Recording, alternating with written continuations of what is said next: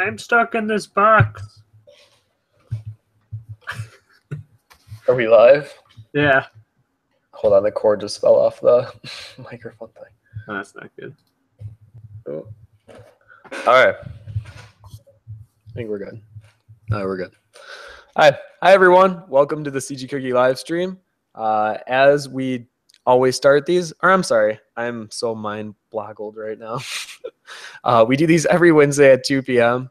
And today we're going to be doing subsurface scattering, which uh, is something that I feel is very important when you're doing any material or texture. So hopefully we will dive into that enough for you guys to understand. It's a really cool effect that you can add to your materials. So once you kind of understand how it works and why it's doing what it's doing, then you can go ahead and add it to the materials that do subsurface scattering.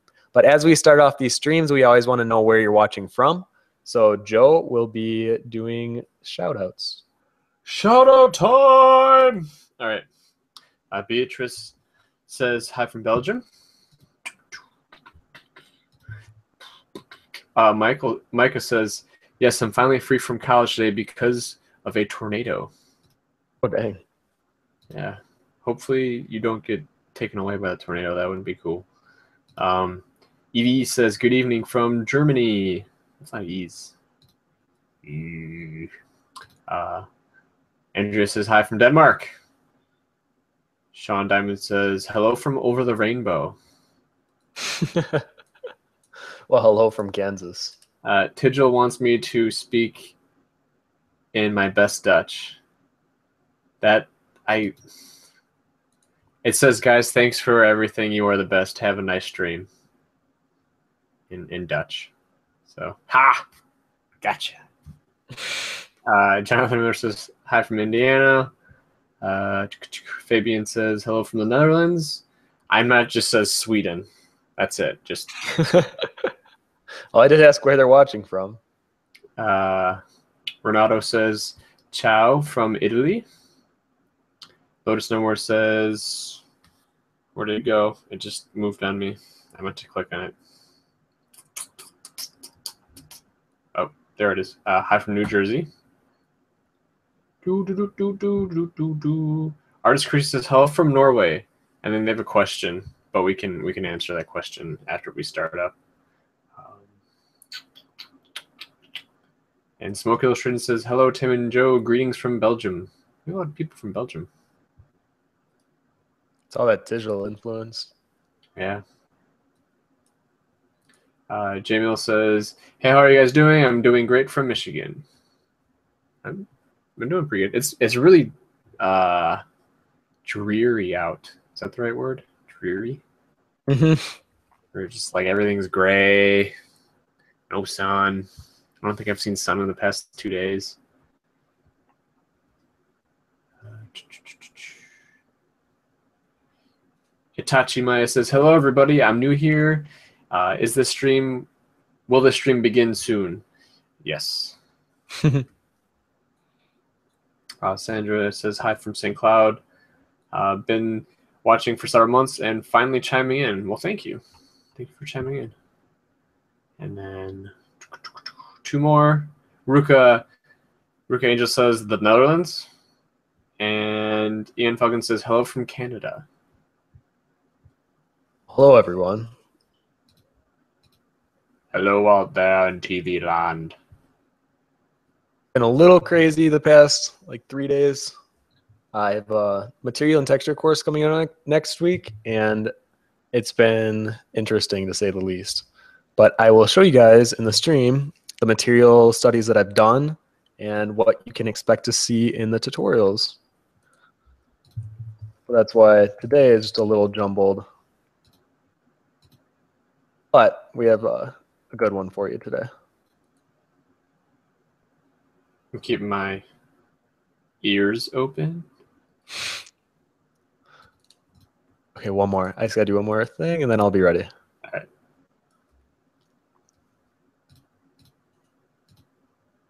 All right, there we go. All right, welcome everyone to the CG Cookie live stream. I'm Tim Von Rueden and I'm joined by Joe Chico.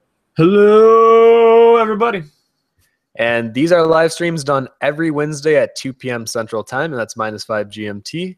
And we usually post what we're going to do about an hour or two beforehand on the community, Facebook, DeviantArt, Twitter, Tumblr, all that good stuff. And today we're doing subsurface scattering.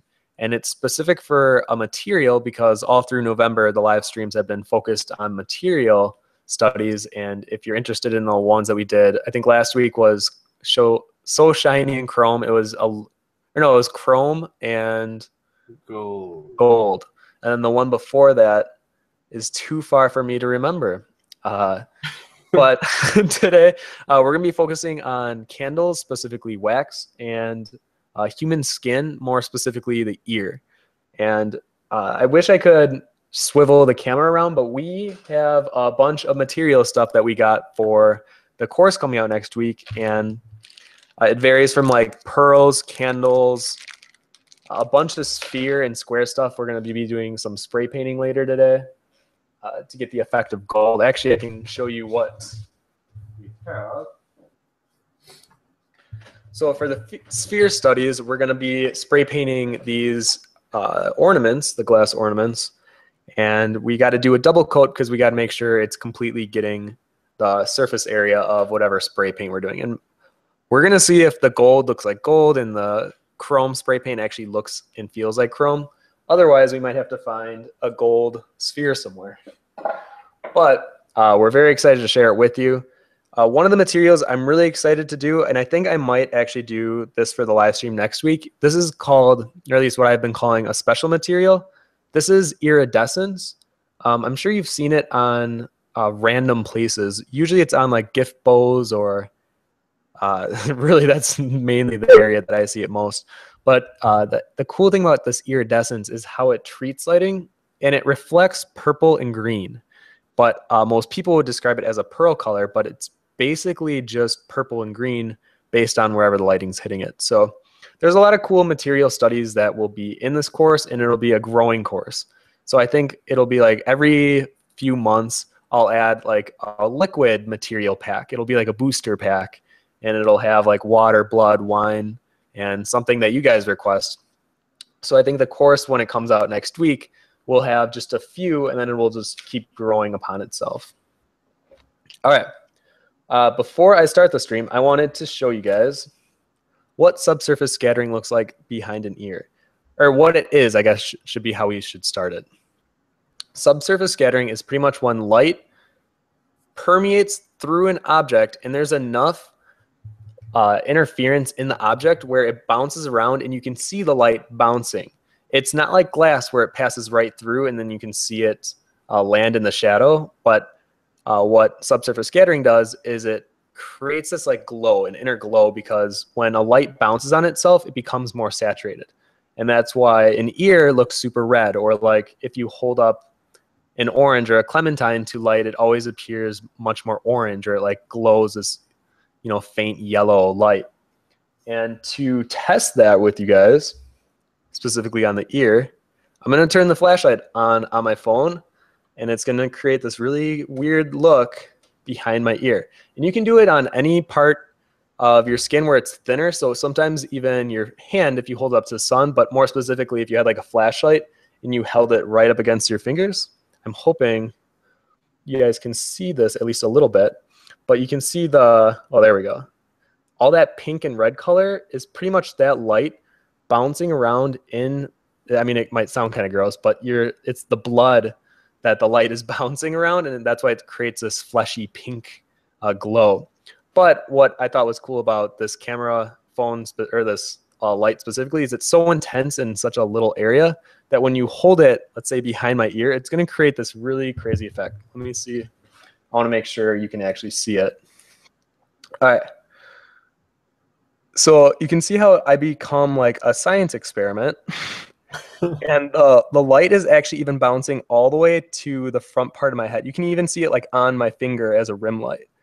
So on areas of the skin that are really thin, the light will just like permeate right through and then it acts almost more like glass where the light then will be captured in the shadow area. And uh, we have a lot of pictures that we're going to share with you during the stream as well. Uh, we're going to take even more. We bought a, uh, what are those? A photo booth light setup. So we're going to be taking some high quality uh, macro photos of different materials, and we're going to specifically try to get materials that have subsurface scattering so you can see the effect uh, not only with skin, but in weird objects that maybe you wouldn't think of uh, initially. And it's usually the best, uh, for me at least, the best materials to see it with are uh, like fruits and not so much veggies, but uh, skin is another big one. And then things like cheese. Uh, it's very strange, but once you see the effect, you're like, oh, that looks really cool. And once you paint it, you're you feel like you can add in this cool effect uh, subtly in areas to kind of heighten a sense of realism. Okay. And I surface scattering in my nose. That's beautiful. uh, so yeah, if you guys have a little little light on your phone, I would even do some tests and take photos, and it, might look really weird when you're taking the photos, but uh, it's a it's a really cool reference to use. We're gonna be painting an ear. It won't have like an extreme subsurface scattering, but we're gonna do more of a subtle one that is uh, more realistic in a way that like if sun was behind you, not so much like a really intense uh, camera light right behind you. All right, let me switch over to my canvas here. Oh, Sean Diamond says that it was uh, leather the first week. Ah, thank you. Okay, let me get that bottom bar out of here. Okay, so about two or three years ago, we did a candy study. And I think the reason this one resonated so much with people was mainly the gummy bear. And people seem to really enjoy the idea of, oops, let me get my new layer going.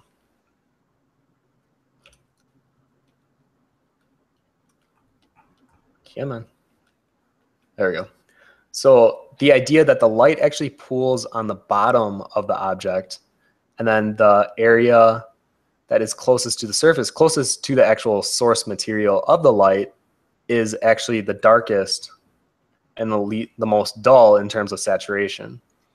But it has this reflected light on the very surface where the area that it pulls up on the very bottom and then it gets casted into the shadow is actually still more saturated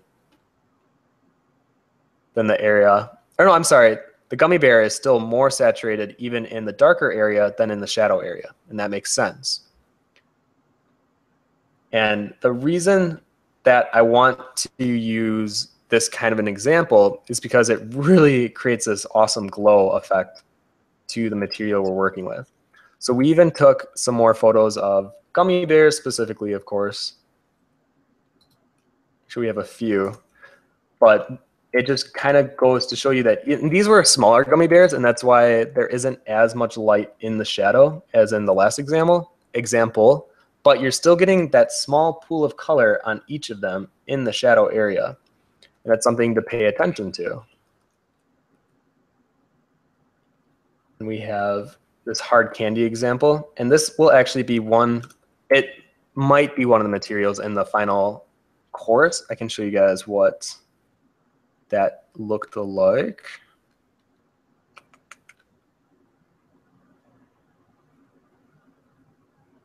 I've been doing so many uh, random tests with materials. Ah, there we go.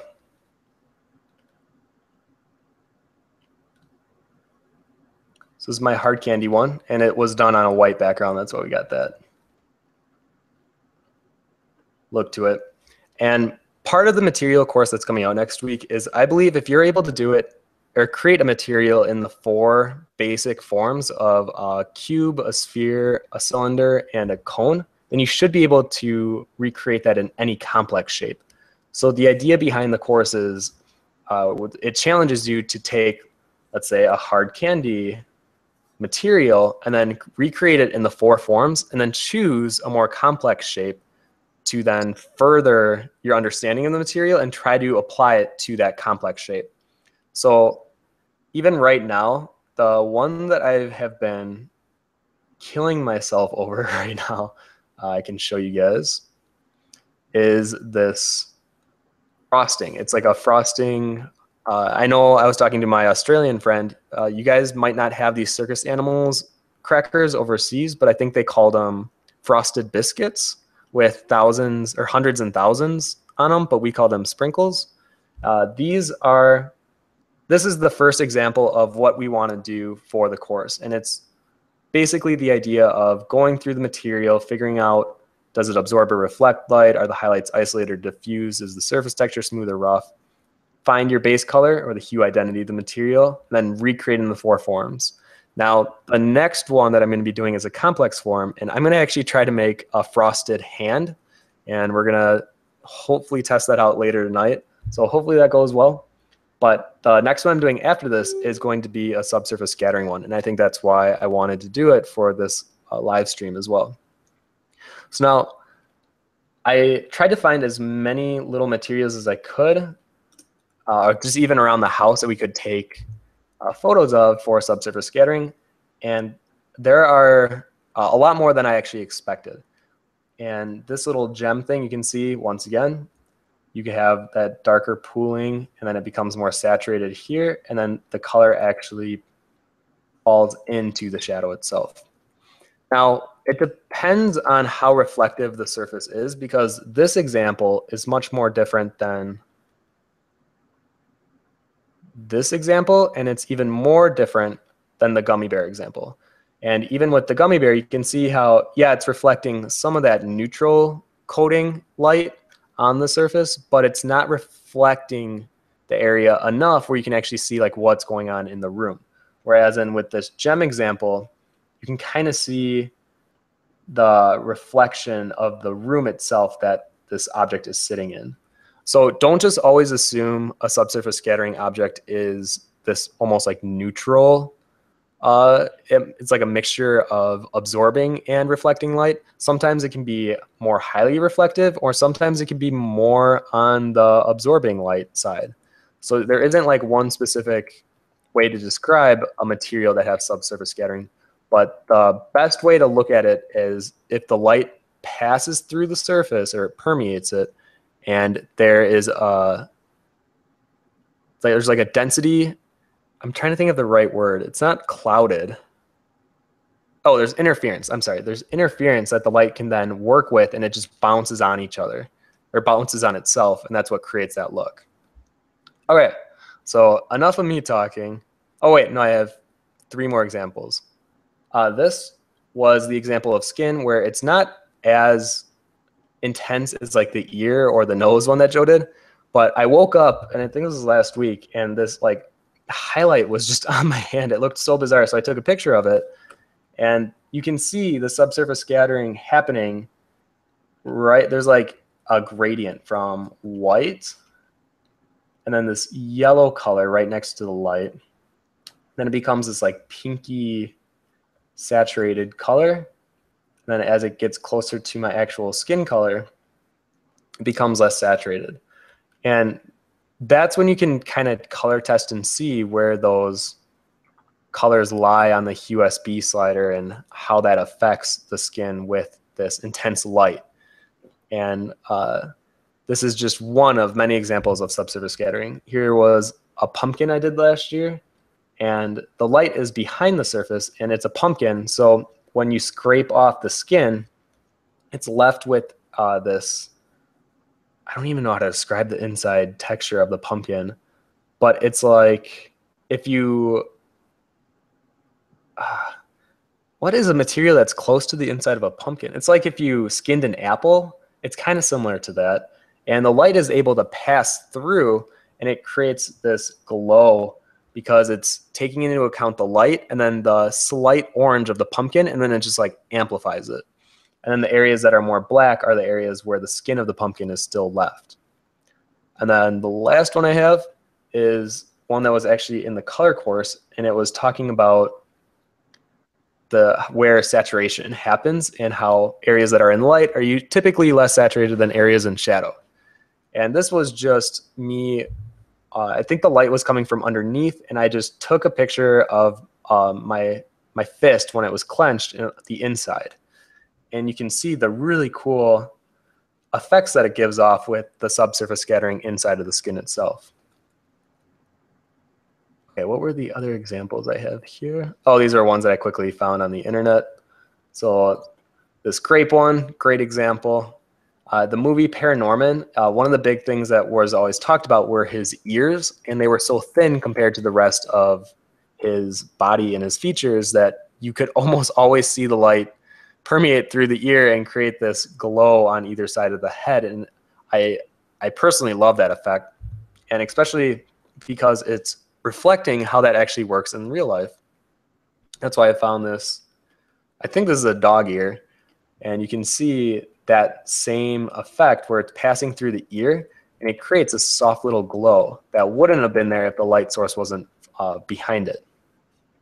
And then one of my favorite artists created just a bunch of these. This is just one of many of uh, their studies where they do like these really isolated studies of subsurface scattering and they'll have like a singular light in the scene and then just have your hands and your feet uh, put in these positions where you can clearly see the subsurface scattering. And if you saw this normally, you might think this is very bizarre, but our mind knows that this is subsurface scattering happening. So it allows this like fantastical color selection to feel realistic, even though uh, when we think skin, we probably don't think this super vibrant orange color. And then the last one was this wax sculpture and that's going to be one of the examples. I'm going to be drawing a candle for you guys. And it's the idea that uh, the, the thinner the material is, if it allows for this subsurface scattering effect, usually that's where the light will be more intense. So you can see the thinner areas, especially on the edge, have more of this lighter glow, almost like a highlight to it. And then the area in the center where it's more dense is more dark and it's more or it doesn't allow the light to pass and bounce through as much as the the outer part. It's almost like a thin membrane is so much easier for the light to pass through than like a solid brick of of wax. All right. So let's go ahead and start doing some drawings. And I'm sure there are a few questions lined up.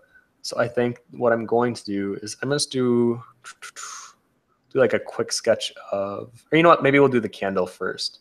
The um this, there's someone in the chat that's saying that it's not transparent, but it's translucent. Sorry, translucent. Yeah, and yeah, then transparent. I also needed to look up what the heck the name of the pumpkin was. That the inside of it, that part that you're talking about. Oh, what is it? It's the hypanthium, which is which is I. That's an, an apple. I imagine it's the same thing the pumpkin, but it's the flesh formed by fusion of the basis of of it, and it's fused with the wall of the object. Hmm. Yeah. Interesting.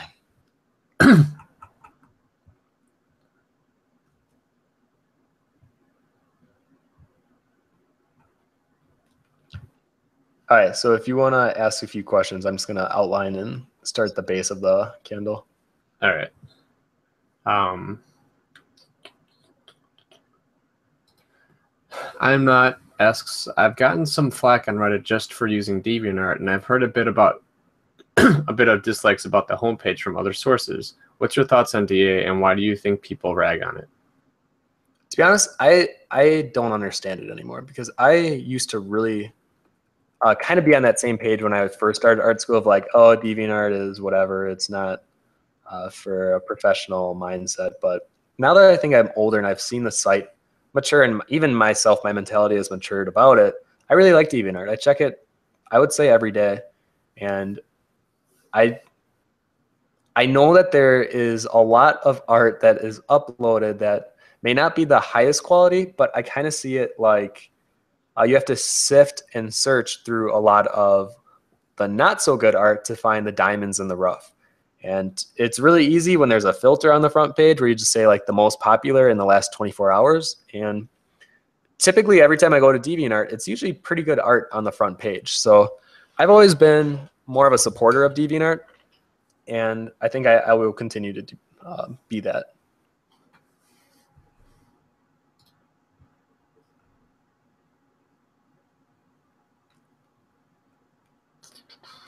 Street Dragon 95 says the light demonstration. I'm all ye- ears.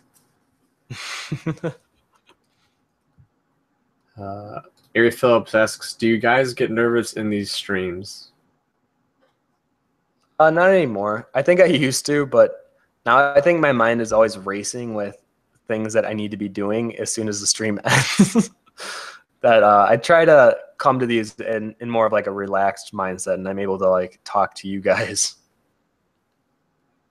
I was gonna say when it comes to moderating, it's it's pretty chillaxed, not really nervous. Uh, but when I'm when I'm drawing, like I notice that I'm trying to do three things at once, so my brain has to say filler words like um and uh.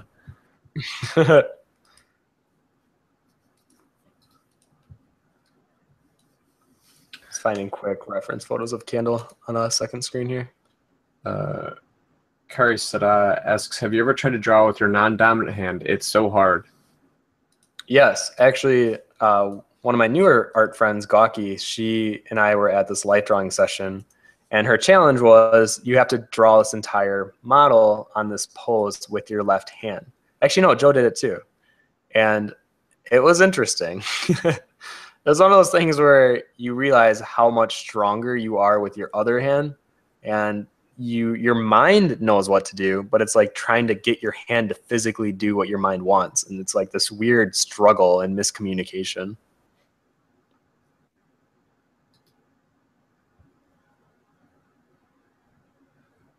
there we go okay uh, Michael Tisdale asks, "Hey Tim, have you seen one One Punch Man yet?" Huh, My friend literally just recommended that show to me. I, I watched first episode, and I can definitely see where the humor is coming from. So I know recently I got wrapped up into what was that show called? Over the Garden Wall, and I finished that whole season. And I think right now I'm not focused on watching any new seasons until I get this course out. And I'm going to stick to the B movies that Netflix has to offer for the next week or two. yeah, definitely want to check it out. People have been raving about it.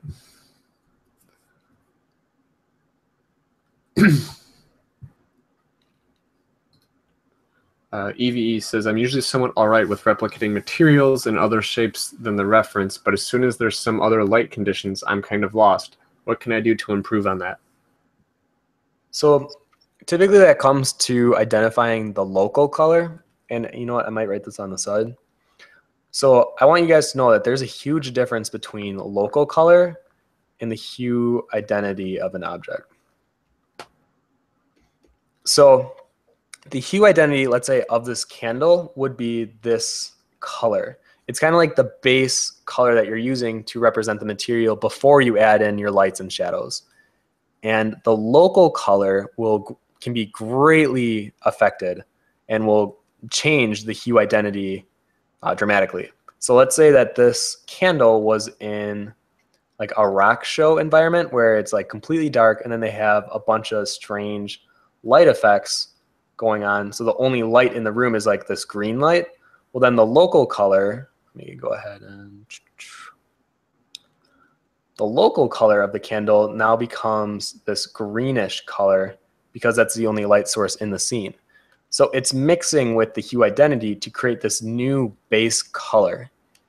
So to create your base color, you need to think of the scene that it's in, the hue identity, and if there's a local color. And typically the local color might not be as intense as a screen, but let's use another example. Let's say it was in a room that was incredibly dark. We're going to make the background darker here. Okay, so there's very little light in this room. Immediately, I hope that you guys can recognize that the hue identity of this candle should not be uh, this color. The, the local color is going to be affected by the light source. And since there's very little, the candle itself, oops, won't be green. It will be this, will be almost a darker version of the initial hue identity. you know what? We might stick with this as we go on because I, I like uh, doing this like dark candle or dark scene that this candle is in. It better explains subsurface scattering as well. Okay, so now the local color of this candle would be more of this second color. So whenever you're adding a light in your scene, I know that this is, it's really easy to say, but it's harder to do in practice. But whenever you add in a light source, you really have to take into account how that affects everything in the scene that you've added and keeping it consistent. So be very aware that if you have a candle in or whatever the material or subject matter is, but in this case it's a candle. If we had this candle in this dark scene, uh, it wouldn't fit. It would stand out like a sore thumb, and you would have to adjust the local color on the hue identity of our candle here.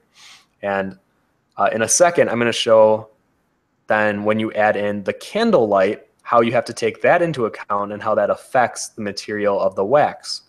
So let me go ahead and make this candle look a little nicer before we go ahead and add in the flame. So yeah, we can get the next question then. All right. Uh, Stephen Walker asks, asks, How do I learn best to draw things more precise digitally? Because I get to the point where I'm just not able to add more detail and then I don't know how to continue. Uh, to be honest, it, it does become a little tricky or when you're doing it digitally, but eventually it'll become more of a like in it's, it becomes easier, in my opinion, to do something uh, digitally when you're doing like precise detailing, unless if you're doing like line art. I still think line art with traditional medium seems to be much easier for me than in digital. But in terms of like detailing or like adding texture or creating more of a glow effect, I, I really do believe it's so much easier digitally. So if you get to the point, let me reread the question, where I'm just not able to add more detail. Uh, I, I think that comes to your visual eye then at that point. And if you can see that it should have more detail in it, then you need to practice on why it doesn't look like it has enough detail in it yet.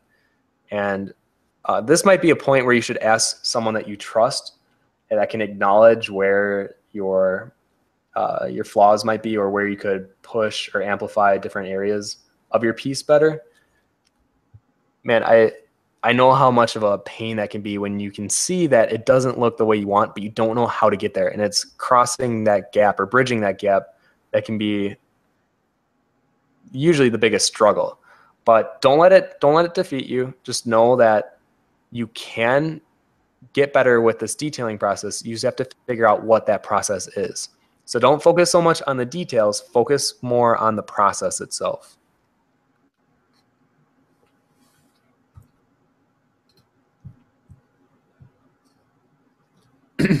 Dave T asks Tim and Joe, for how long should an artist practice and study value before going on to color?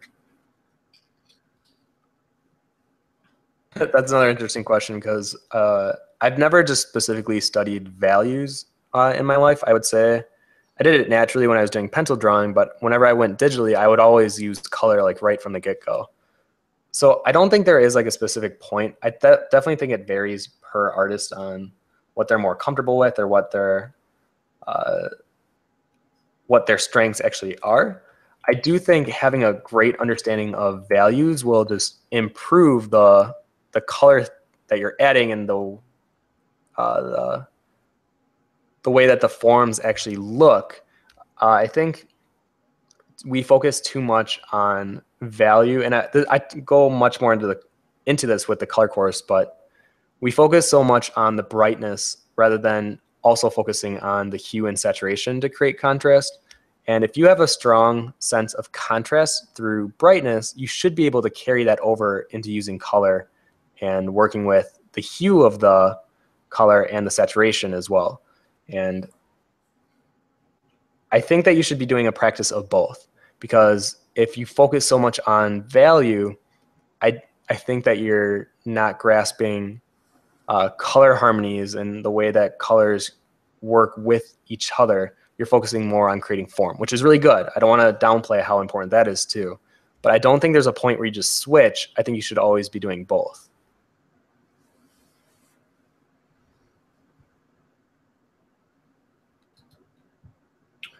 Toby Fox says, I'm curious, how tall are you guys? I am 412. And I am 7'2.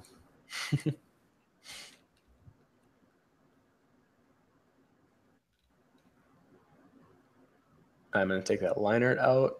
and then, oh, where's that wick?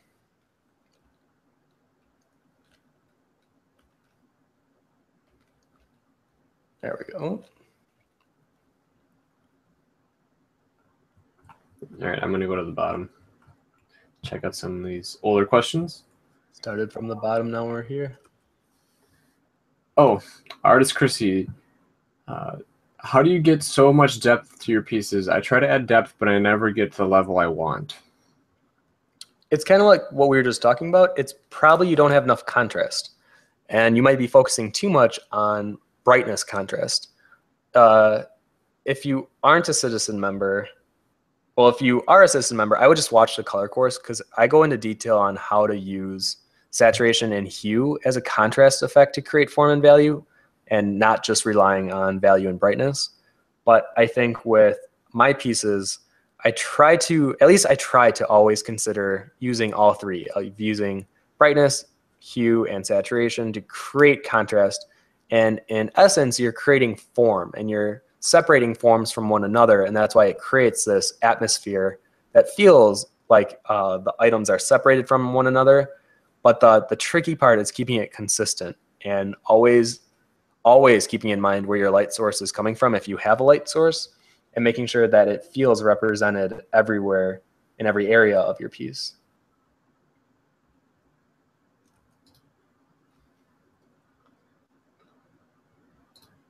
Soren asks, what software are you drawing in? I am working in Photoshop CC, but I've worked in CS4, CS5, and 6 before.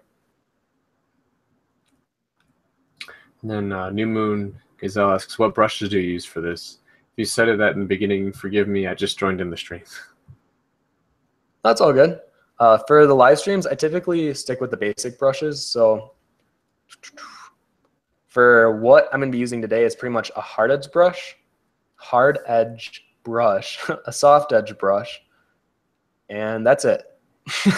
I, I really do believe that if you can master working with the basic brushes, then uh, using the more advanced or tricky looking brushes is more of a time saver. It's more efficient, but it's not uh, a crutch at that point.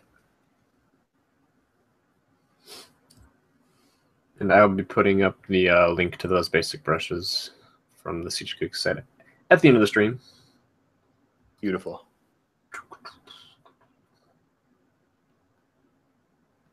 Uh, Beatrice asks, how would you indicate subsurface scattering when you're sketching or painting really rough? Uh, when you're sketching, if you're doing it traditionally, it's actually pretty hard. Uh, you have to work with your brightness. If you're working traditionally with like pencils, you gotta like think about how that intense saturation is actually lightening up the area. So it's a little harder doing it with pencil and paper, but if you're doing like a quick sketch, let me do so you guys can kind of see what that looks like. Now, mind you, this is not my forte, so don't judge me too hard. But if I was to do a quick candle with subsurface scattering, I would look at how the light is affecting the surface. I'm not so much focusing on the details, how pretty it looks. Well, this is very weird for me. Hold on.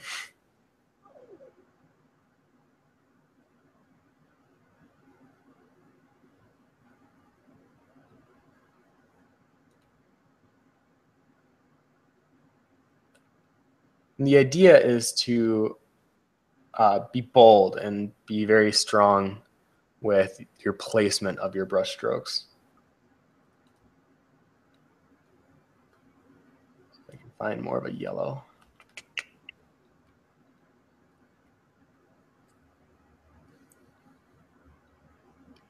Would look something probably like this.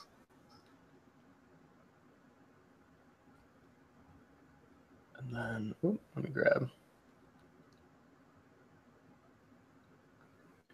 And I would have a slight gradient, or as my roommate would say, an ombre effect, ombre. And it has this more dull appearance the further away from the light sources is. So the closer it gets, it would have uh, this more saturated look. You can see how it's still pretty rough, and we're trying to keep it similar to that style.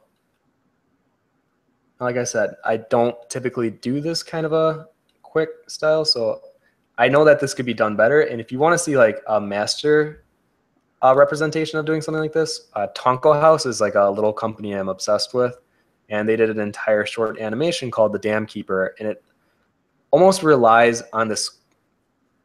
It looks really rough and quick, but there is so much thought and uh, precision with their brushstrokes and how they work with lighting that it, it's actually like a master study, really, of uh, color and light.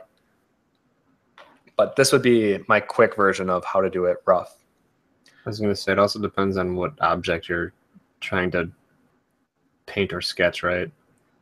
Yes. Because like not every object is going to have this subsurface scattering look to it, but light will affect every material ever.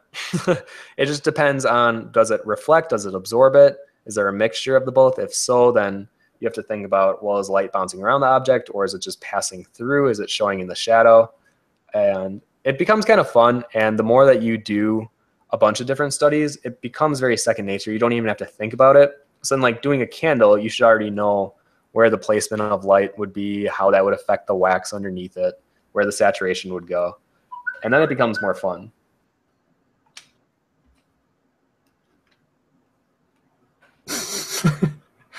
Say Sayan says, if you are seven two, there are some things on the roof I need you to reach up and get for me. I have Photoshop CS6. Is CC better comparatively? And does it have any new functions? Yeah, that's not that I've noticed really. uh, it until they do something very drastic, like if they added a line, uh, what's that called? The smoothing. Uh, wait, which one are you talking? Not an equalizer. Lazy Nezumi.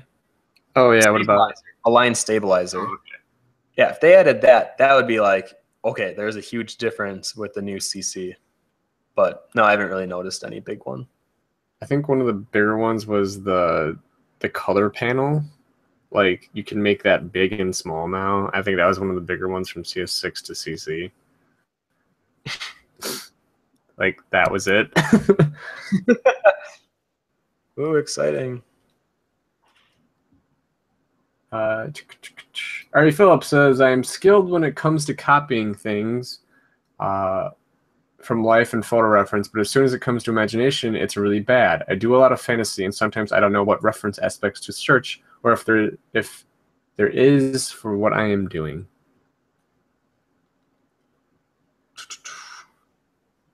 Uh, you might be what my art teacher used to call me so offensively, which is more of like a photocopy machine. And I want you to know right now, you are not that. I think you're just very observant and you're very good at seeing what's in front of you and being able to replicate or recreate it. So the challenge for you is then uh, putting it into practice and applying that knowledge into something that you don't have a direct reference for.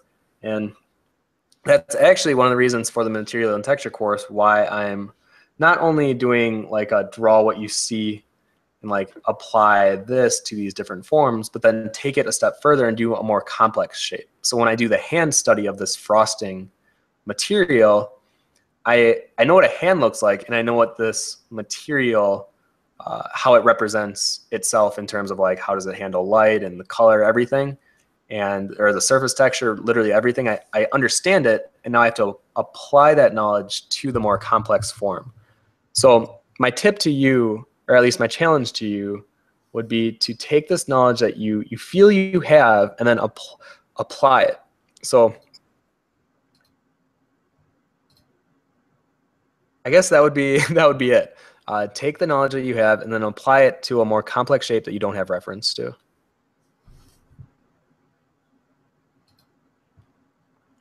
Okay, I'm gonna have two versions of this candle. You know what? No, first I'm gonna light it. So on the first candle, we're gonna light this candle.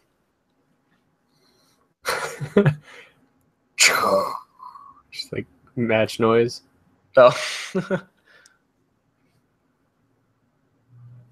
oh, here's my my Zippo lighter.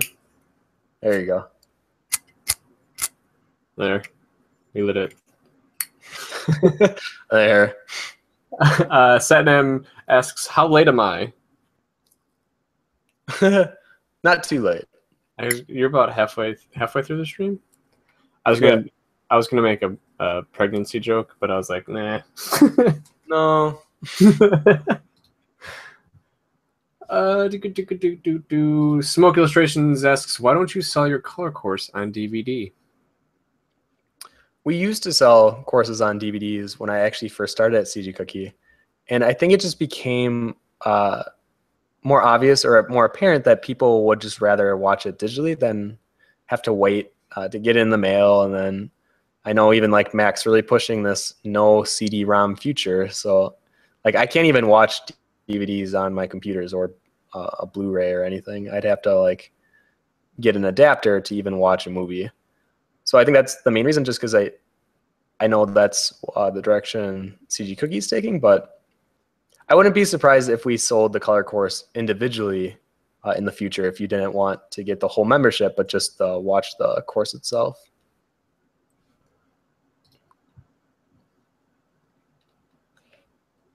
Uh, Lotus No More says those sound like really, really effective exercises. I can't wait to try those material. Try it with the material course. It's to be honest, I thought I would be able to like whip through it. It's it is actually quite the challenge. And I think it's even challenging the way I thought about uh, creating materials quickly. And it just reminds me that you can't rush uh, something to look uh, like quality.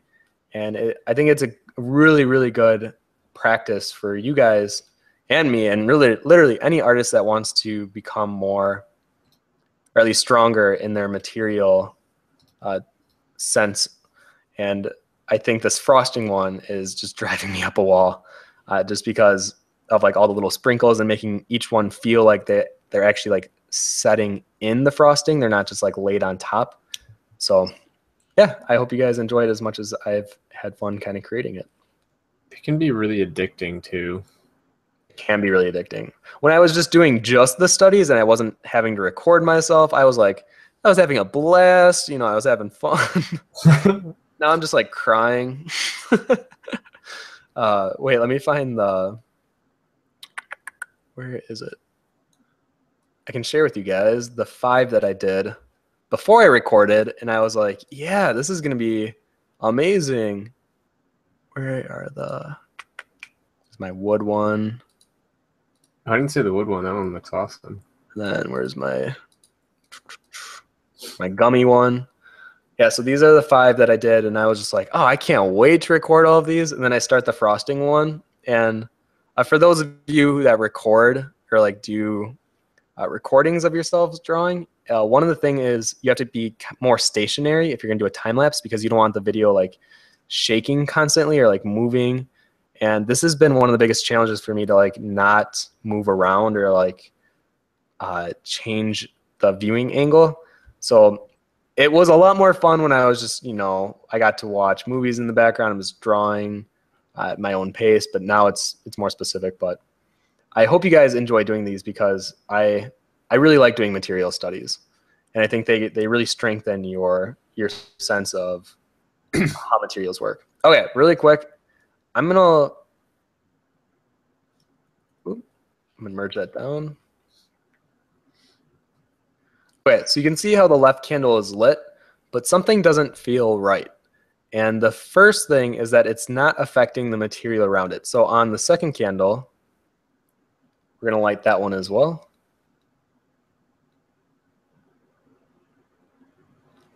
And I'm just to affect the surface. Now, mind you, I'm not doing subsurface scattering yet. I'm only affecting the actual surface of the wax.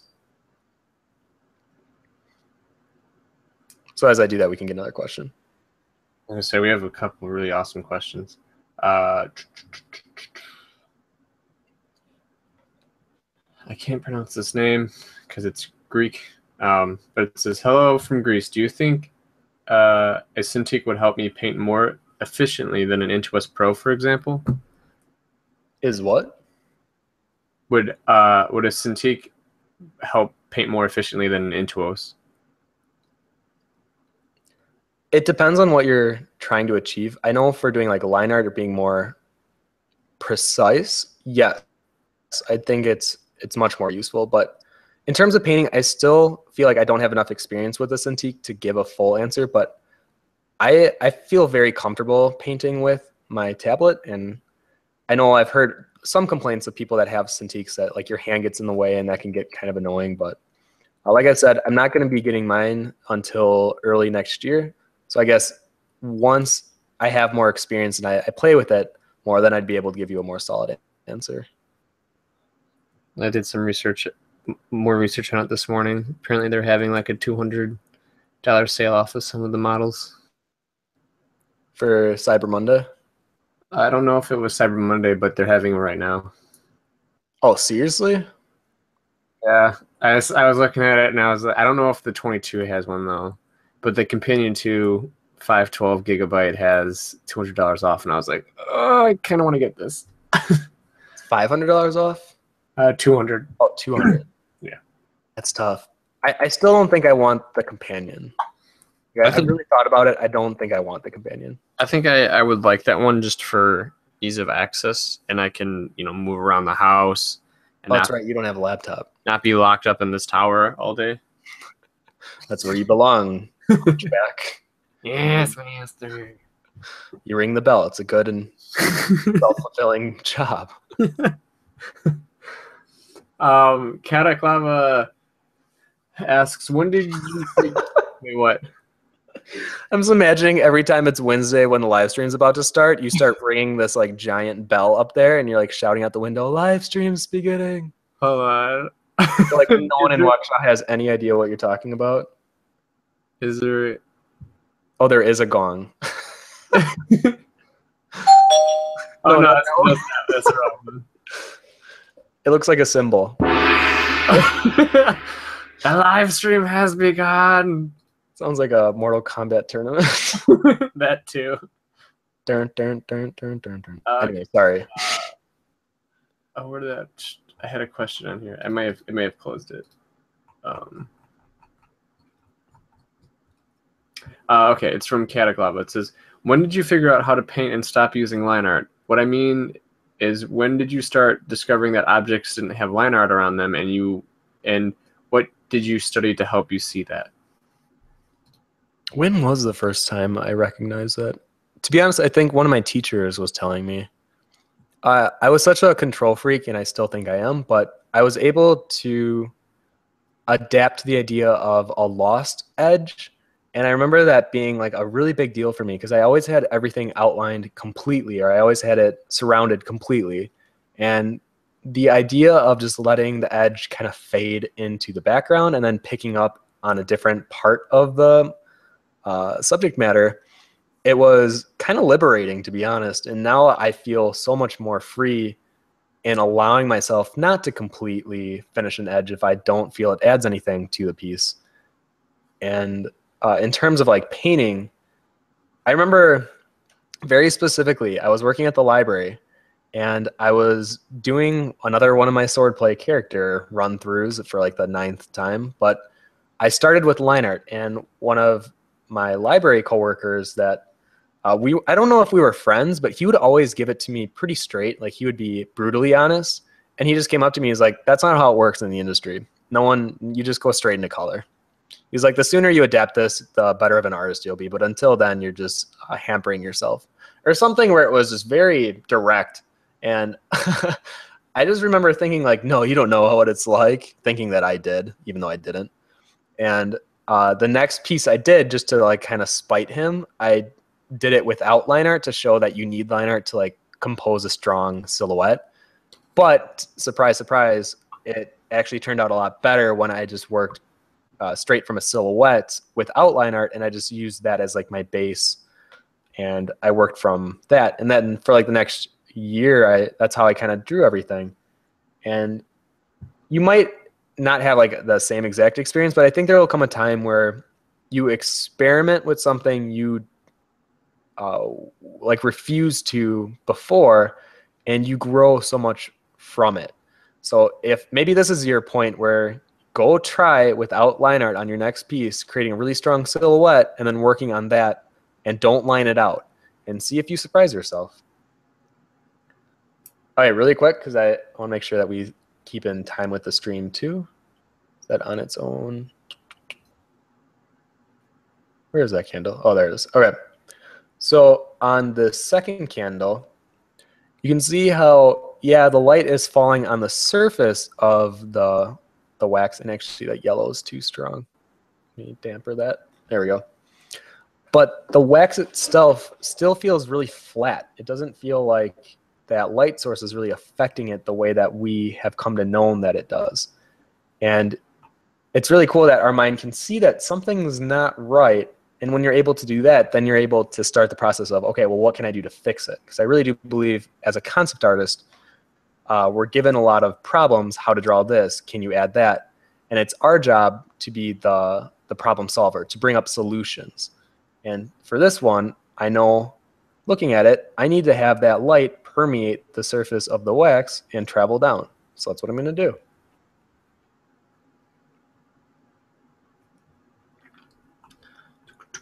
where did it go it was from sean Kelly.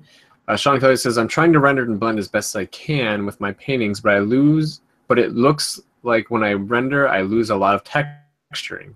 How would you balance between the two and render your paintings but keep the texture?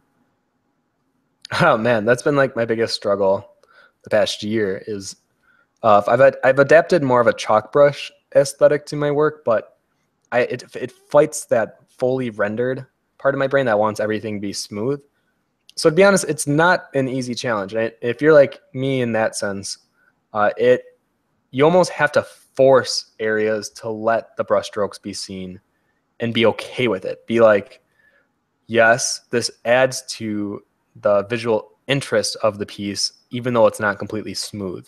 So it's kind of like you're contrasting your own logic, but uh, the more that you kind of let being so strict, uh, I think your pieces will will shine more. It'll become more loose, and in that sense, you'll you'll see more of a confidence. I was gonna say, I think I, I'm I'm I'm liking more and more pieces that understand to take breaths, and you know, like as far as like rendering out things go.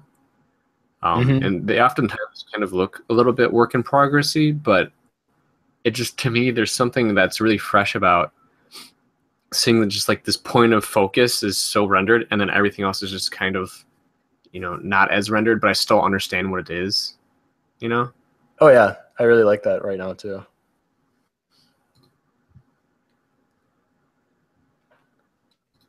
uh, kenneth stone asks i use Sai and want to know of a good way to texture and create a palette for original work i generally eventually wash things out and make it muddy at my current level that's um, Joe.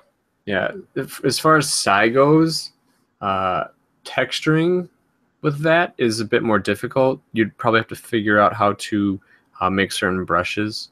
Uh, there's also the idea that you you could be using the same way that Photoshop does the overlay layers with it. Um, Sai has a really good in-depth brush maker. It's just complicated to uh, well, want to explain right now uh, in a short amount of time. But there, I know that there are online websites that do show you how to make brushes. Um, so definitely check those out if you get the chance. I also use the fine flat brush for texture with a lot of my stuff to give it that painter painterly look. The fine flat brush. wait, wait, really quick.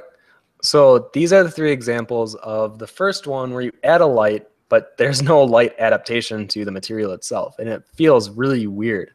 And it's like the light is traveling, like our mind know that the light should travel, but it's not being reciprocated on the material itself.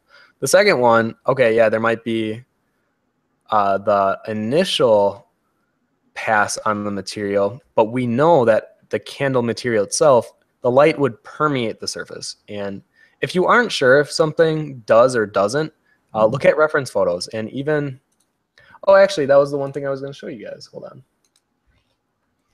Um, in front of me, oh, you know what? Now the sun comes out.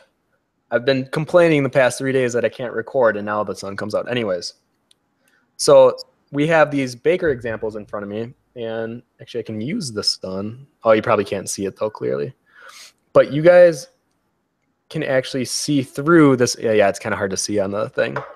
Let me use the light example from my phone again. So we actually found uh, a sphere candle and a cylinder candle, and oh, maybe it's too bright. Oh, sun, how you're letting me down today. All right, so I'm gonna turn the flashlight back on my phone. All right, so on this candle, let me find a good spot where the sun isn't. There we go. All right, so you can see how if the light, oh, come on. Oh, wait, wait. There we go. All right. So when the light is right behind the candle, you can't really see too much subsurface scattering. But as we get to thinner areas, so if I did it more from like the edge, oh, it's still kind of hard to see on the video. Uh, I'll take photos so you guys can see this better and I'll upload them. But essentially, this edge is a lot more illuminated than this edge. And it's because the light source is on this thinner patch, there's less material that it, the light has to pass through to get to our eyes. And that's why I can't believe the sun is actually out right now. I'm, I'm like disgusted. but that was the example where if you're not sure, go test it out in real life. And uh, for me, this was always a very important thing to take your own reference photos. Yeah, Google Images help, but having the actual structure, the physical presence of the material in front of you can make such a difference because then you have the ability to uh, almost create your own scene, your own logic. So if you want a light one point light system, you can and you just throw that object in the scene. If you wanted to like you were doing a first study, for example, uh, you can put it in a way that is how like you can mat it, you can put it in a different direction. And even things with like like gold, something that would be a little more tougher to do if you wanted a specific object or if you wanted to see how light interacts with something as difficult as a metallic surface. Uh, it becomes a lot easier when you have that physical presence that you can study from. And uh, I really do believe that you should take your own reference photos if you're able to. I know that sometimes you don't always have the means to do it, or if you want to do something like a sci-fi spaceship, it might be a little harder, but then break it down into what those individual materials are and try to find reference of that alone. All right, let me switch back here. Then we will get into our ear. All right, so yeah, what I was saying, oh, sorry. The second one was where it only affects the surface, and the third one is subsurface scattering. So you can see how the light passes through the object, and the further down it gets, it loses its its strength because it's bouncing around so heavily up here that after a while it loses each each i think the way my teacher taught me was each bounce it loses a percentage of strength so by the time it makes its way all the way down here it's going to be very little strength and it eventually you won't see much at all of the light permeating the surface but it'll have this nice gradient effect of the uh, the light passing through all right, so as I get the new scene started, let's go ahead and do another question. Uh, so, Subjigo, I think. Uh, do you think that using subsurface materials with 3D objects is good enough to use reference for drawing?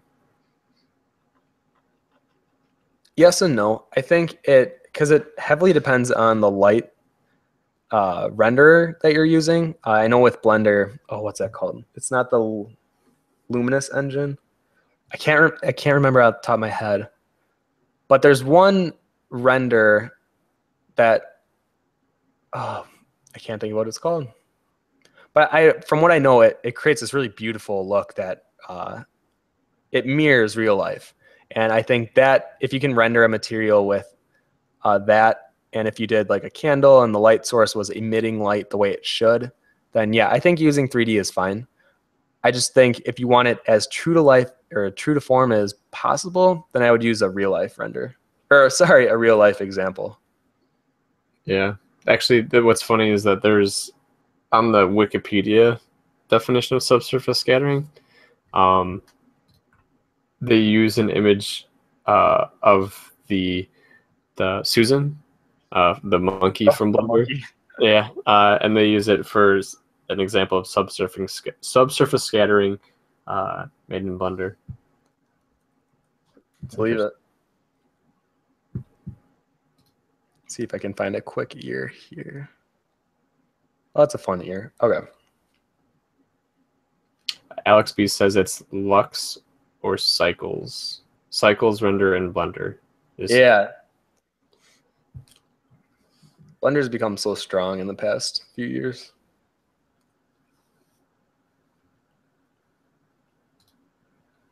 Here's a good question. I am not asks, is there an, any art style or type of art that you just can't stand?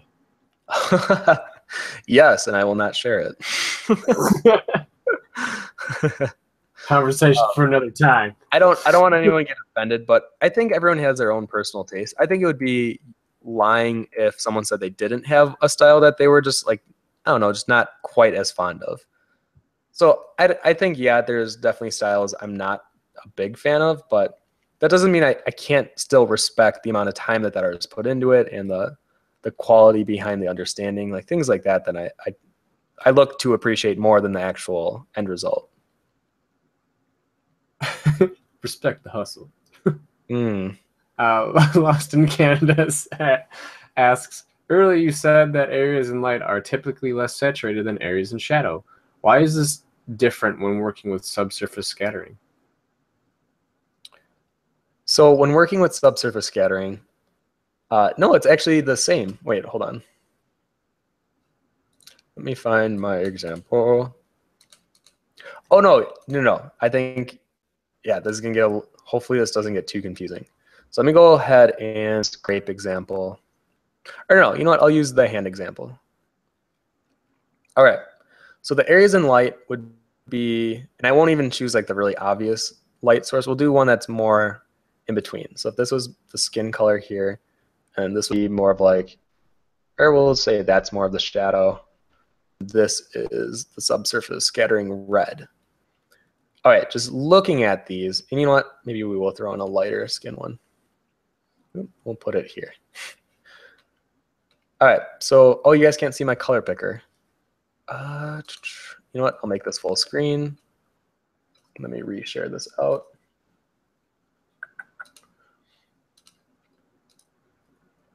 All right, so ignore the little eyes on the bottom of the, oops. That's my ear reference that I'm using. There we go. All right, so when I pull up the color picker, so the area that is in light, you can see on the saturation scale, which is the horizontal one, remember, it is kind of like at a 25 to 30% range. So then as we get into the shadow, you can see it's super saturated. It's actually at uh, 66%. And you know what? Maybe I'll write these down next to them. So it's 27. And then the red that is the subsurface scattering is crazy saturated. So this would be at 86%. So when working with subsurface scattering, the idea is uh, it's you can't just think of it as area in light and area in shadow because this is permeating the surface and it's from a light source and uh, it I, I learned this from a gold tutorial that I watched or I saw online and it's the idea that if light bounces on itself it becomes more saturated so the area that is inside of the shadow becomes more saturated because it's bouncing on itself. Now, I think where it got confusing was with the gummy bear Let me pull that back up.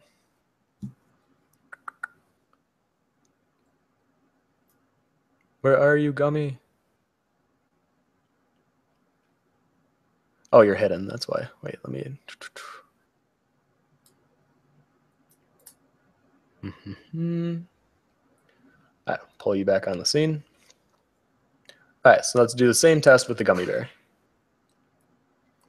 So we'll say the area where the light is hitting the surface, what seems to be the hue identity, area in shadow, oops, area in shadow, subsurface scattering, and then the area that actually lands in the the object shadow. All right, so now if we look at, and you can kind of see just from on this scale, this red is going to be super saturated. And the area that's in shadow is actually very saturated as well. But then as we get to the, the middle of the, the gummy area, you can see how it loses just a hint. And then as we get to the surface, a lot is lost. And it's the idea that an area in light is less saturated than an area in shadow. Now it becomes a little like you have to think of a next step when working with subsurface scattering because then there's color that lands that typically lands in the shadow. So you can see how it loses some of the saturation even from the shadow color, but with the local color or the hue identity of the gummy bear, it should be rather similar. So you can see between these two, it's very, very similar. So it, it really does vary per object, but as a typical rule of thumb, you can just always remember that an area in light tends to be less saturated than an area in shadow. And with subsurface scattering, it becomes this whole nother step because then where it becomes super saturated is typically within the material and then as it lands in the the actual actual shadow it will become less saturated so i'm hoping that wasn't too confusing uh, i know subsurface scattering is just a cool effect that sometimes takes uh, a few tries to get comfortable working with i'm going to switch back to just my my canvas here all right, we got two questions that are higher up on the pluses. And okay. this one uh, kind of still goes with subsurface scattering. Uh, Tigil asks Subsurface scattering depends obviously on the material, but how much does the type of light matter? Is there a kind of light that works better for subsurface scattering, like sunlight, artificial light, fire, etc.? Does the color hue of the light matter? Yes. Uh, typically, with like a fire or the sun or a candle, you're going to get more of a warm presence. And obviously, it depends on the object you're working with. But typically, when we think of subsurface scattering, it's with like skin. And since our skin has the red blood vessels that is being uh, kind of illuminated from the light, it does create this very warm effect, especially when the light source is a warmer color. And actually, I, I almost want to challenge you to uh, do the same test of like the light behind the ear, but do it with like a green light or a blue light or a purple light and see what the effect is. And maybe we'll do that test here and include that in the in the material course as well. Because it will be slightly different, but it's still bouncing around the red blood vessels. So it's that initial color plus the red will equal the result.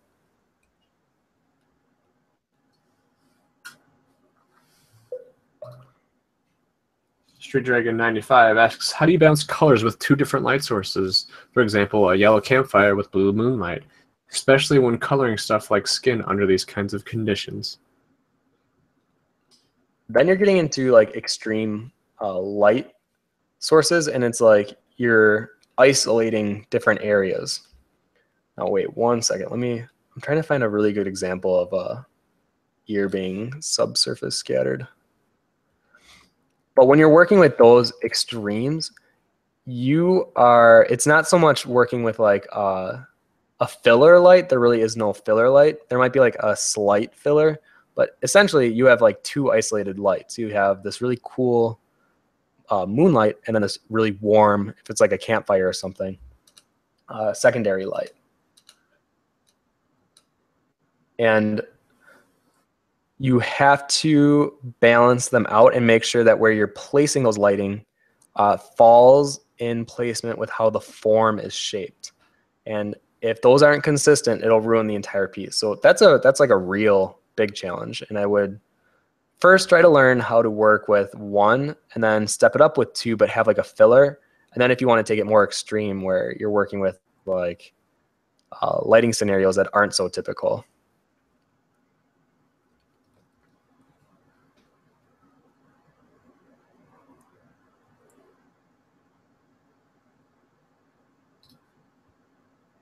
You still there? Yeah. Okay. Your mic was getting a little bit like.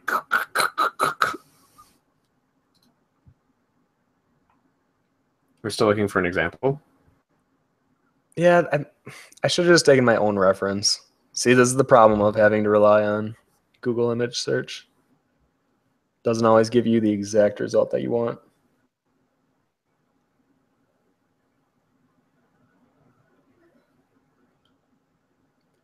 Uh, it's okay. I'm just gonna, I can wing it.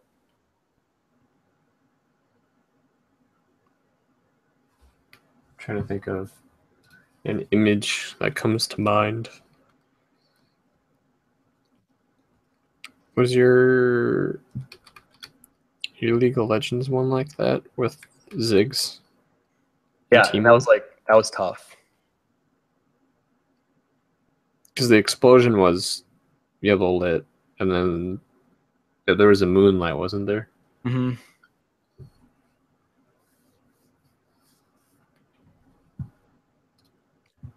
Oh, Google image search. You would disappoint me right now.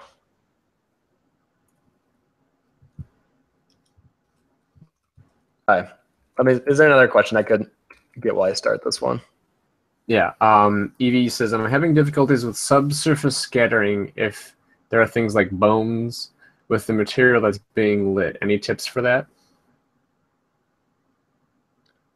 Like bones. Uh, I guess you just have to take into account the bones and how those don't uh, absorb light the same way like skin would. So you almost have like this inner shadow, and it, it could create like this really cool effect where uh, you can tell that it's like you're implying that there's a form inside of the form, but it, it won't be treating light in the same way. Yeah, I was gonna say it's kind of like an X-ray, right? Mm-hmm.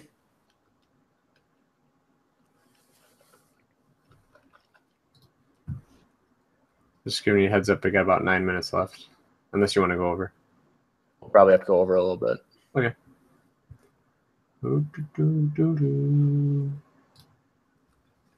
Digital wants to know you are great at answering questions, but and you seem to know so much. But what questions do you have?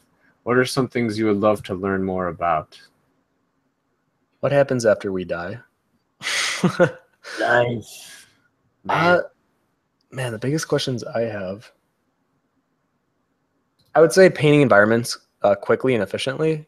That would be one thing I, I would really want to do more research on. Um, I'm always intrigued by color theories. So anything color related, I'm usually uh, intrigued by.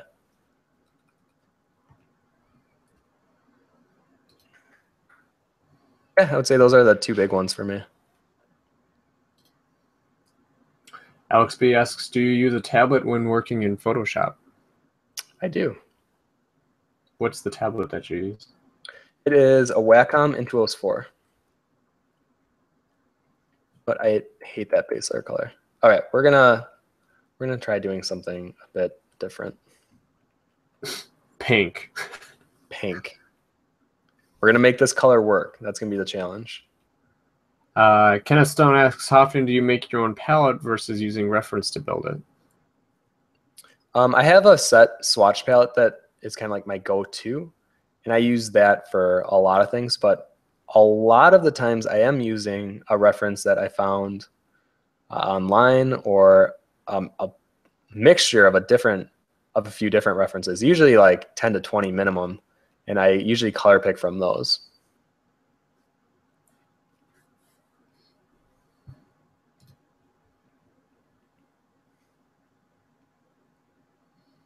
Mm -hmm. Wants to know if you could turn into a into a fly who would you spy on?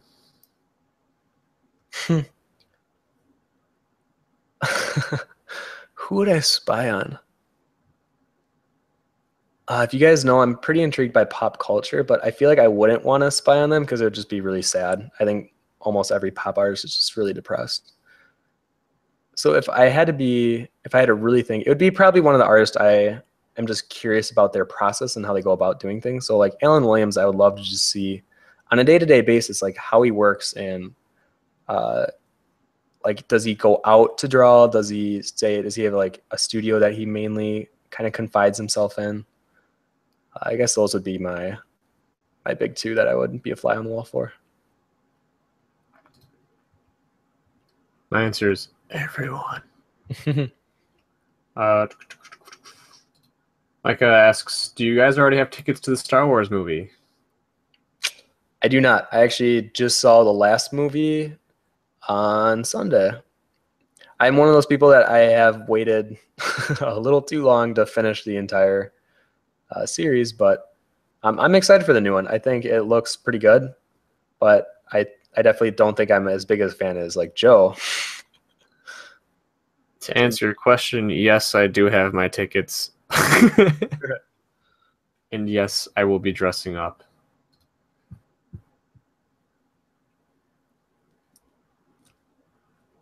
Since I'm seven two, I'll be going as Chewbacca. Uh, Ari Phillips asks, "Is there going to be bubblegum in the material course?" There could be. It won't be with the initial launch though. I'm trying to get at least the core materials in there. So right now on my list, like frosting kind of like worked its way in, but I don't know if that's a core material. But uh, dry leather, wood, skin, and gold are the ones for sure on my list. And then the next ones after that are chrome, glass, lemon, and frosting, but since I already did the frosting one, that's going to be in there. And then from that point forward, it's going to be a lot of like, I really do think it's going to be like once every three months, I'll give like a booster pack of uh, liquids or uh, in this case, like uh, confectionery things or candy. So like bubblegum would be an awesome one to do. Actually, I would, I would love to do bubblegum. And then for like the uh, taking it a step further, like having an entire head made out of bubblegum, I think that would be a cool uh, material study.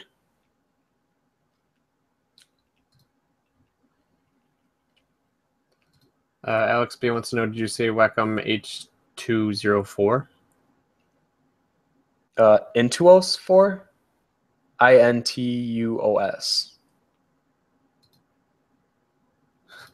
And Laser first said, "Can touchpad Wacom tablets work for 3D animation? And what tablet do you use?" And then said, "Hey, that guy stole my question." uh, yeah, from what I remember when I was in school, we had to use uh, mouses, but I don't see what the disadvantage to using a tablet would be. I, I do think it would be more efficient to use a mouse, to be completely honest, but uh, that I mean that could just be a personal preference thing. With animation, because like then you're sliding bars constantly or like moving pieces. I could see where you could do it with a tablet, I guess. It would be it'd be cool if if we had 3D like virtual reality, like if you had like like if you could use two hands at once to to like pose something. No, but but like using a, I think using a tablet's probably not that great for animation. It's better for sculpting. Uh, I would say, and then yeah, I'd say mouse is probably what I would use. Yeah, I would use a mouse. You wouldn't use like like gloves that no uh, that were like uh like you know how they did the ParaNorman ones, like how they pose them and stuff. Nope. I don't know. I wouldn't say I'm against future things. I just I'm not inclined by it at all. I think like drawing, I just like the feel of the instrument in my hand, having a physical. I think that's why I've been so uh, like doing traditional stuff more than digital lately. I just feel there's a presence there that's missed when it becomes too digital. There's like a lack of humanity behind it, I feel. but maybe that's what people are going for. So I don't know. or just ease. they just want it to be easier. I think the idea is cool, but in practicality, it's not easier.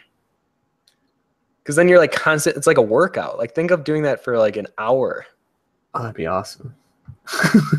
I'm, I'm I, for it. I know. think, I think it's very gimmicky, but I could be wrong, and I could just be um, too biased. I guess it's too early to tell. Uh, Alex B asks, any plans for a perspective or anatomy course in the future, or is that something that comes with practice? Actually, we have a perspective course coming out next month, and that will be Joel's first full course at CG Cookie. Yes, I will be doing a perspective course. Uh, it will be covering. I have the outline up. The outline is one point perspective, uh, managing the horizon line, two point perspective, uh, and then like working in perspective, so like depth and measuring foreshortening, uh, building complex objects, things like that, curves, line or curves and cylinders. So it'll be fun. It'll be good. I know a lot of people are a lot of people have asked for perspective course, um, so hopefully it'll help. So what about anatomy though? Anatomy we're planning for next summer, I think, is when me and Wes talked about. Because I think that is just such a fun course that like everyone would enjoy seeing, but I want to make sure it's done right. And then to do that, I have to dedicate the proper time to the courses we're getting out now first.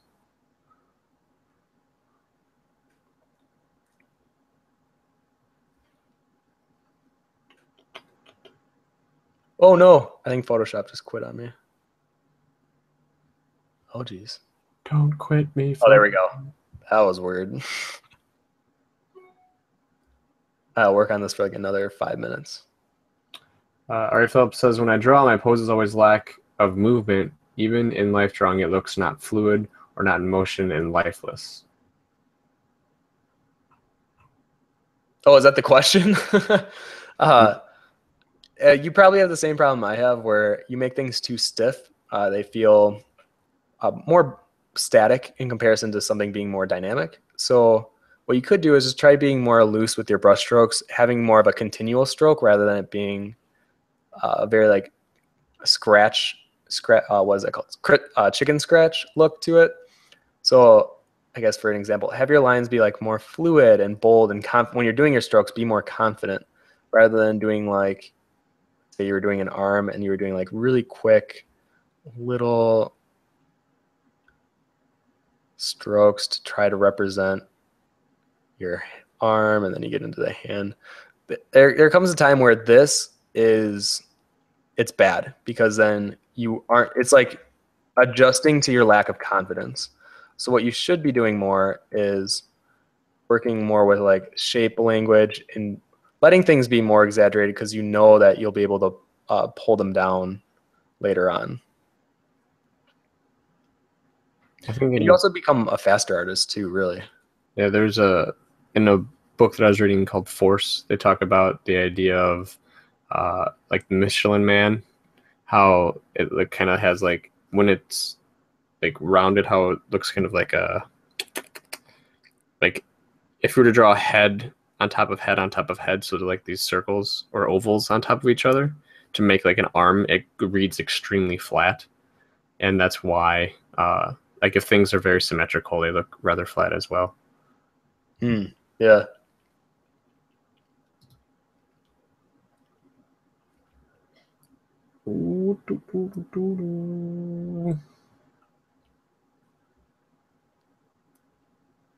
Uh, Alex B says, "No nudes in the anatomy course, please."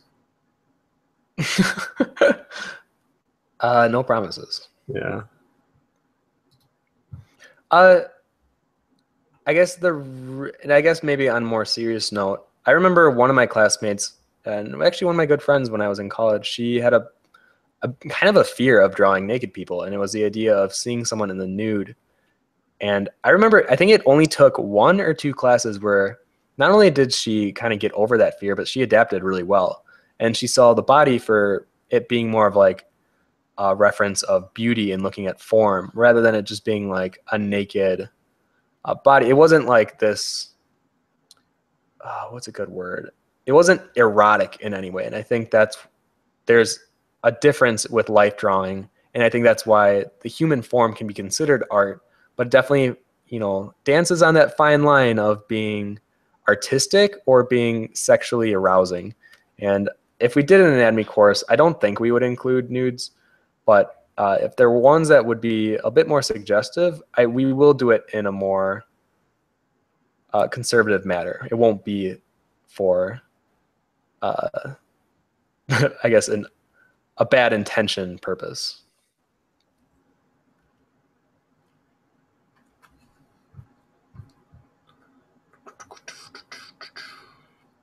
Uh, teacher asks, will there be boxes involved in my perspective course? I'll be disappointed if there wouldn't be. Of course there'll be boxes. You have to put people in boxes all the time.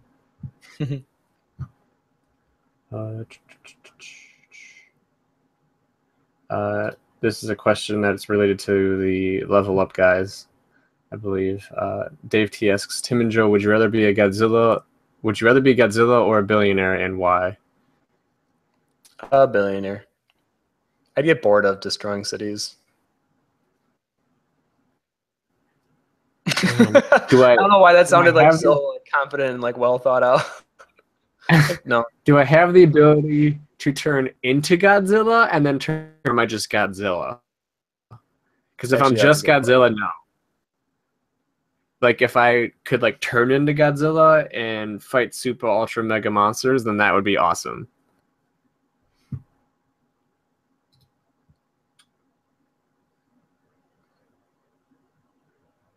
Uh,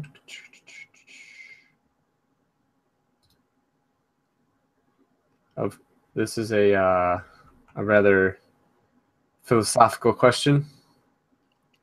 Lay uh, It's from Tigil. It says, "Any artist, or what are your thoughts on any an artist that puts so much of himself in his own work as reflection of who he slash she is? when the art speaks to people, they recognize parts of themselves in that art. So I think that art is a perfect for finding true friendship and relationship. What are your thoughts? I fully agree. I think that's why sometimes when we get disappointed in the artists that we really follow, like if they quote unquote sell out, it does reflect their personality and who they are and what they believe in.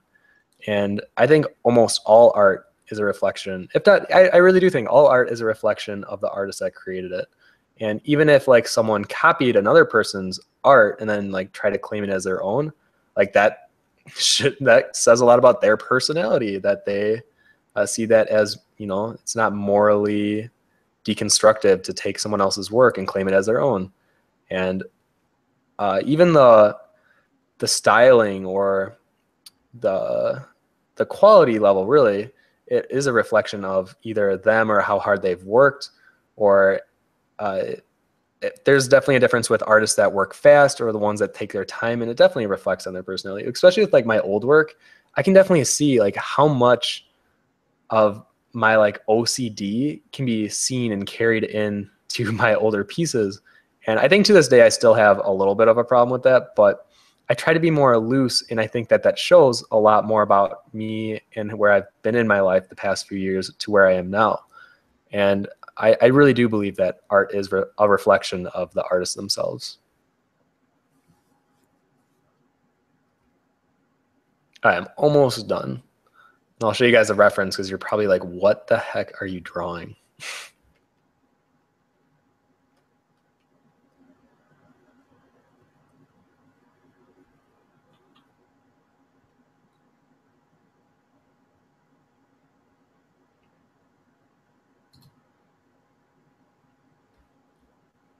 some people are talking about anatomy now and life drawing.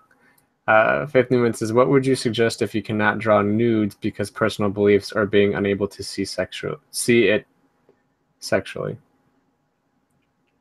Wait, what would you suggest if you cannot draw nudes as a person?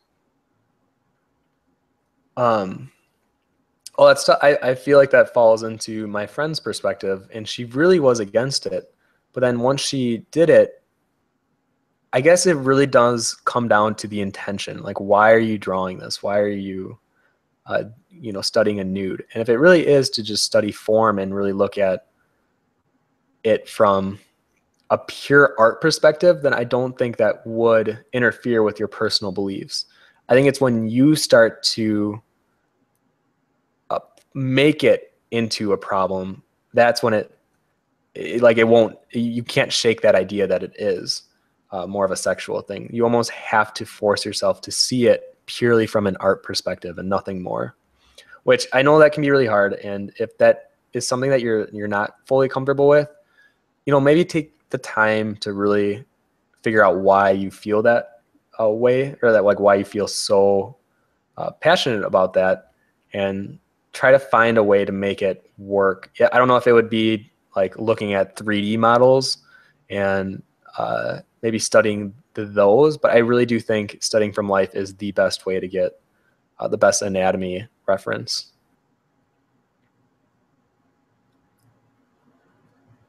All right, let me show you guys the reference really quick and then we will go ahead and cut the stream.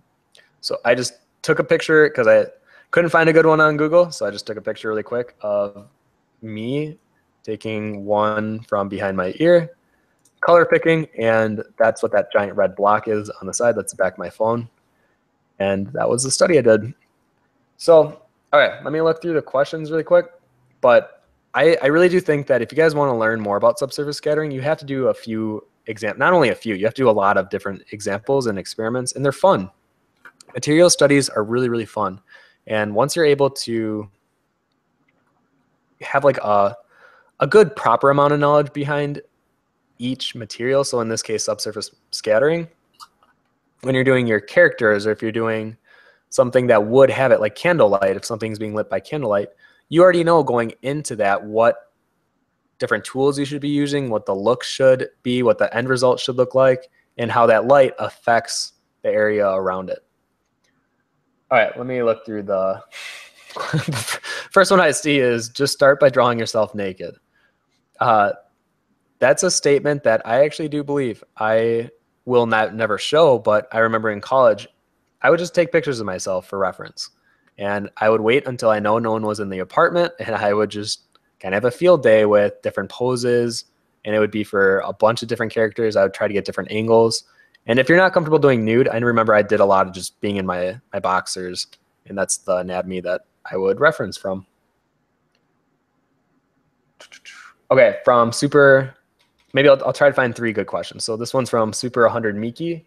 I think I missed it, but how to identify an object's local color. I constantly mistake it with its influence with the light, shadow, etc. Does local color have its properties?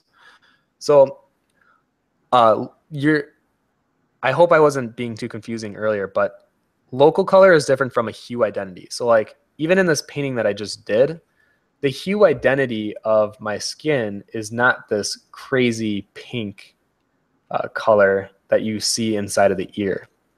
The Local color is this crazy pink color. So the hue identity of the my skin would probably be something more of like this muted purple color. And that's because of the, or no, I'm sorry, even that would be local color. My skin color should be influenced in a very neutral lighting scenario. And that's what the true hue identity of an object is. The local color is influenced by the lighting around it. So the reason my skin looks so purple is because I was being lit from the outside and it was cloudy at the time. So it was creating this bluey uh, light source and then mixing with my more red skin tone, it created this purplish look.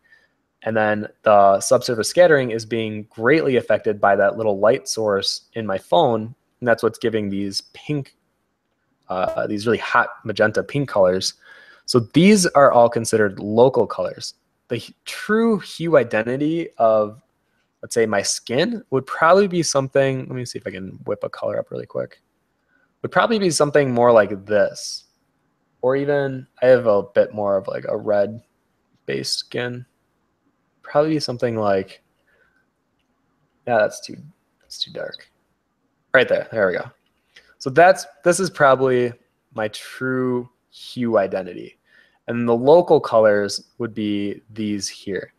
So I'll try to explain it better with the course, but just know there's a huge difference between the hue identity of an object and the local color. So uh, just remember that there's a big difference. Let's see here. Um, Tijal, if my arms or hands would become completely paralyzed, what would I do if I wasn't able to start drawing anymore? Would I use my feet? How do you earn a living?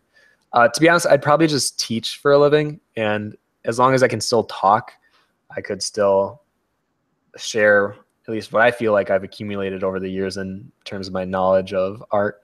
But it would be incredibly devastating if I wasn't able to create art anymore. I would probably try to figure out a way to do it. Uh, I don't know if my feet would be the most practical. I think with technology nowadays, hopefully I could have just like a mechanical arm of some kind. As long as I can get a pencil to paper, uh, I'd be fine. Even if I had to use, uh, I don't know what kind of appliance I would use, but somehow I would still try to create art.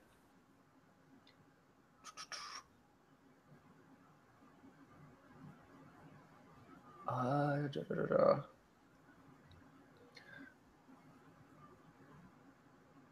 Uh, will we get a Christmas drawing next month? You absolutely will. If there's actually something you want to see specifically that's Christmas related, uh, I'd be more than willing to draw that on the stream. Because even something like, I don't know if I'd want to draw a Christmas tree, but uh, an ornament with like a golden ornate hook. Uh, what are those? The topping, the topper of the ornament, like the, that could be really fun to draw. Or even the ornament itself and how it reflects the environment. Or maybe a snowman. Maybe I'll draw a snowman.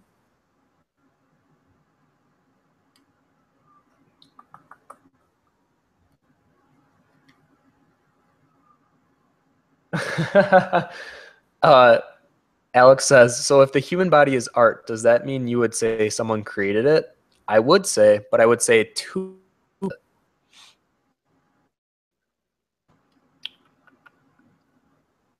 Uh, how would you go for light going through leaves? That is a, another great example of subsurface scattering, but typically you see uh, it from the underside. You don't see it so much if you looked at it from the top. And that's a whole nother uh, material video that I could talk about where the top of the leaf would be seen as it reflects light. But if you looked at it from underneath, you would see it absorb and uh, have the subsurface scattering effect. Let me try to find one more.